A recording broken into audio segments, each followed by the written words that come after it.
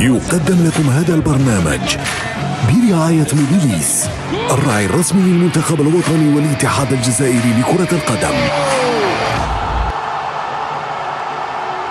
موبيليس معا نصنع المستقبل.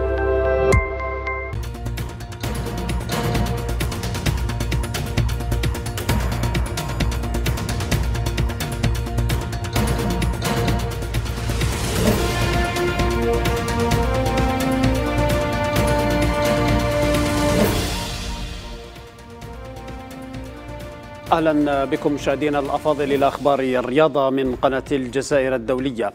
تعرضت المغنية الفرنسية ذات الأصول المالية آيا ناكامورا إلى هجمات عنصرية شديدة بعد اقتراحها لتنشيط حفل افتتاح الألعاب الأولمبية المقررة صائفة العام الجاري بالعاصمة الفرنسية باريس بسبب أصولها العرقية ولون بشرتها السوداء في ضرب للقيم الأولمبية المناهضة للتمييز العنصري. كلما اقترب موعد أولمبياد باريس ازدادت متاعب اللجنة المنظمة للحدث الأولمبي. فمع انطلاق العرض التنازلي لحفل الافتتاح أحد أهم محطات الحكم على نجاح الموعد من عدمه. اصطدمت أولى خطوات التحضير بواقع موجة شرسة من الانتقادات. تولدت مع اقتراح اسم المغنية الفرنسية ذات الأصول المالية آيا ناكامورا لتنشيط الحفل المقرر يوم السادس والعشرين جويليا المقبل. حملة شرسة رافضة لفكرة منح ذوي الأصول الإفريقية شرف إحياء حفل الافتتاح. فبعد اقتراح اسم المغنية من طرف الرئيس الفرنسي إيمانويل ماكرون حملة قابلتها اللجنة المنظمة للأولمبياد بصدمة بعد أن نسبت الصحافة الفرنسية الهجمات العنصرية إلى جهات من اليمين المتطرف بناء على الأصول العرقية للمغنية ولون بشرتها. جدل حفل الافتتاح انتقل من المواقع إلى الواقع لتكون العاصمة باريس مسرحا للتعبير عن رفض الفكرة جملة وتفصيلا في تهديد مباشر لسير الألعاب التي لم يعد يفصل عنها سوى ثلاثة أشهر كما يعد تجاوزا صارخا لمبدأ الحركة الأولمبية التي تعتبر المنافسة أداة لترسيخ التنوع وقبول الآخر بجنسيته وثقافته وتوجهه ودينه دون أي ميز عنصري. ضربة جديدة تزيد الشكوك حول الألعاب الأولمبية المقبلة التي ستستضيفها العاصمة الفرنسية باريس وسط أجواء استثنائية يشهدها العالم. تمكن مانشستر سيتي مساء السبت من الفوز على نيوكاسل يونايتد بثنائية نظيفة في ربع نهائي كأس الاتحاد ليبلغ نصف نهائي المسابقة للمرة السادسة تواليا. البرتغالي برناردو سيلفا فرض نفسه نجما للمواجهة وبصم على هدفين. في شباك نيوكاسل في الدقيقتين الثالثة عشرة والحادية والثلاثين من عمر الشوط الأول ليقود السيتي إلى نصف النهائي ويقصي نيوكاسل يونايتد من مسابقة كأس الاتحاد الإنجليزي. Definitely.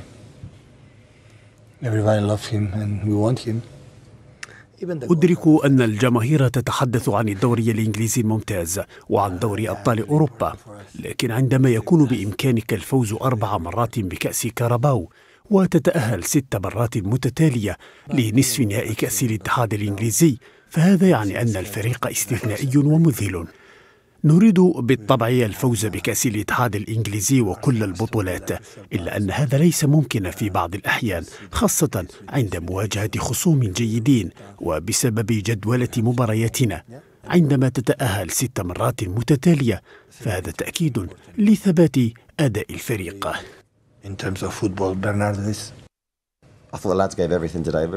قدم اللاعبون كل ما لديهم. من الصعب جدا مقارعة مانشستر سيتي في أي وقت. عندما يعمل في حيازة الكرة فإنه يجعل مهمتنا صعبة. حاولنا إفساد طريقة لعبه واستعادة الكرة لكن المباراة كانت دقيقة من الجانبين وأعتقد أننا صمدنا وأزعجناهم في بعض الأحيان. سيكون ملعب اولترافورد مساء اليوم مسرحا لقمة مثيرة وواعدة بين مانشستر يونايتد وليفربول في ربع نهائي كأس الاتحاد الإنجليزي. ويسعى المان يونايتد لتحقيق نتيجة إيجابية لمصالحة جماهيره والعبور إلى نصف النهائي مستغلا عاملي الأرض والجمهور.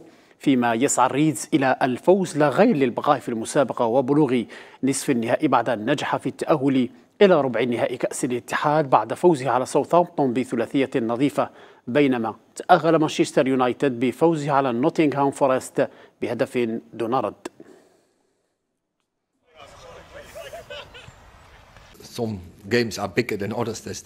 بعض المباريات أكبر من غيرها وهذا بالتأكيد صحيح.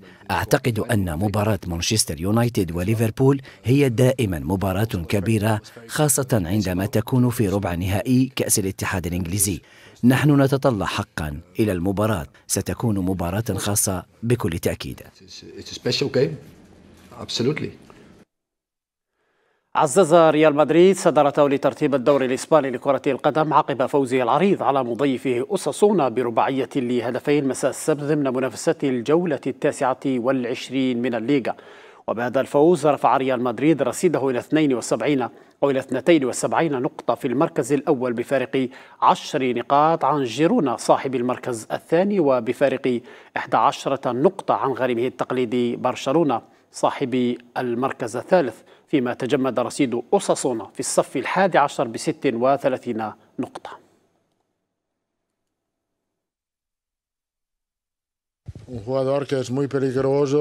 أنا فخور جدا بكل الانتصارات وسعيد للغاية بهذا النصر.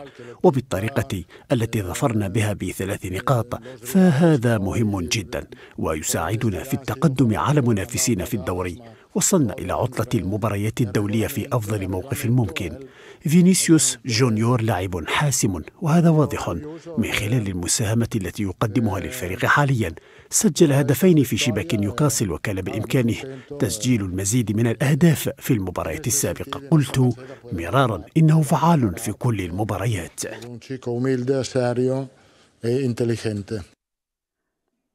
يحل سهرة اليوم برشلونة ضيفا على أتلتيكو مدريد لحساب الجولة التاسعة والعشرين من منافسات الدوري الإسباني بعد أن حجز الفريقان مقعد لهما في ربع نهائي دوري أبطال أوروبا. ويسعى برشلونة لتحقيق نتيجة إيجابية والتقدم إلى وصافة الدوري خاصة بعد تعثر جيرونا أمام خطافي. البلوغرانا ثالث الترتيب يبتعد بفارق أو بفارق ست نقاط عن أتلتيكو صاحب المركز الرابع.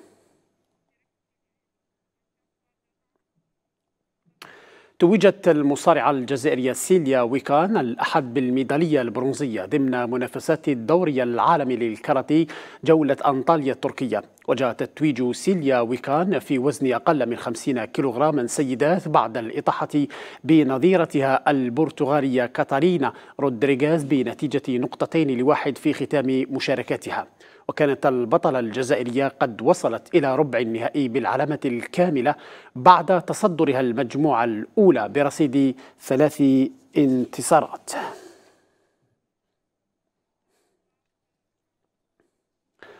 تمكن المنتخب الجزائري للمبارزة للسيدات في تخصص سيف الحسام من ضمان مقعد ضمن أفضل ثمانية منتخبات عالمية وبالتالي التأهل رسميا إلى الألعاب الأولمبية المقبلة المقررة صائفة العام الجاري بباريس. تأهل المنتخب الجزائري للسيدات بلاعباته الأربع جاء بعد التفوق على منتخب هونغ كونغ ب 45 مقابل 44 نقطة ضمن منافسات كأس العالم للمبارزة الجارية ببلجيكا. لتفتك زميلات سوسن بوفياف تأشيرة عبور الجزائر إلى الأولمبياد للمرة الأولى في التاريخ في تخصص سيف الحسام حسب الفرق. وفي الفرد تمكن بدوره المبارز الجزائري سليم هروي من التأهل إلى الموعد الأولمبي المقبل. بلغ الروسي دانييل ميدفيديف نهائي بطولة انديانا ويز للتنس للعام الثاني على التوالي وذلك بعد فوزه في نصف النهائي على صاحب الأرض تومي بول بمجموعتين لواحدة بواقع ستة سبعة ستة اثنان وستة واحد. وسيكون المصنف الرابع في مواجهة كارلوس ألكاراس سهرة اليوم في إعادة لنهائي العام الماضي الذي فاز به الإسباني المصنف الثاني ويتفوق الكراس بثلاثة اثنين على ميدفيدا في المواجهة المباشرة.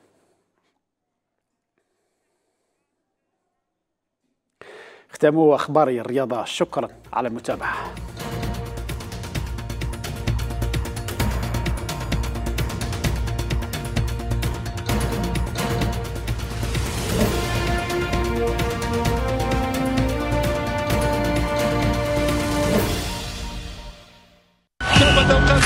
قدم لكم هذا البرنامج برعاية موبيليس الراعي الرسمي للمنتخب الوطني والاتحاد الجزائري لكرة القدم. موبيليس معا نصنع المستقبل.